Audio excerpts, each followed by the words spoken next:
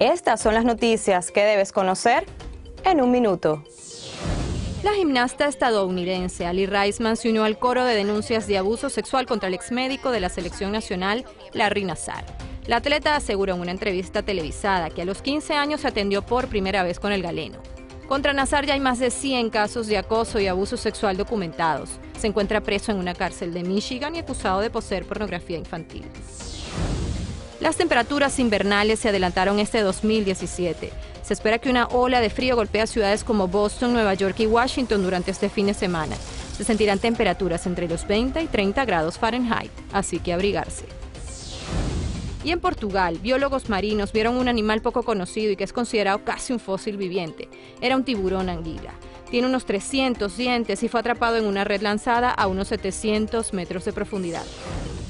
Siga informado en univisionnoticias.com.